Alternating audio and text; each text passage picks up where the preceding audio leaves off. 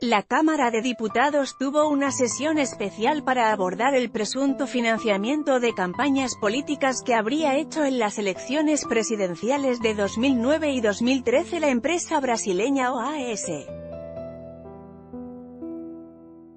Sin embargo, la instancia estuvo marcada por la escasa presencia de parlamentarios y la nula asistencia de los invitados, entre ellos el recaudador de las campañas de Eduardo Frei y Michelle Bachelet, Giorgio Martelli, porque la mesa de la corporación no cursó las invitaciones por no haber acuerdo de los comités parlamentarios.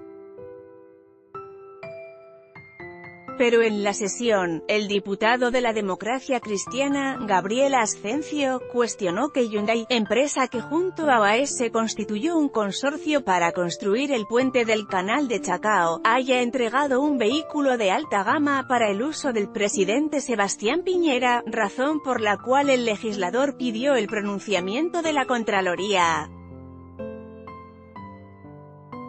El diputado de Renovación Nacional, Sebastián Torrealba, calificó como pequeñez el cuestionamiento por el auto que la presidencia recibió en comodato de Hyundai y señaló que la automotora no tiene que ver con el consorcio que construye el puente en Chiloé.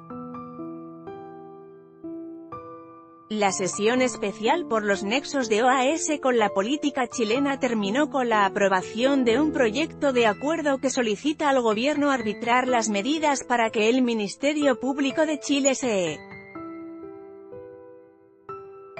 vincule con el grupo de fiscalías que han establecido conexiones a propósito de la operación Lava Jato, y fortalecer así la acción transfronteriza de la persecución de delitos cometidos en suelo nacional y en el extranjero.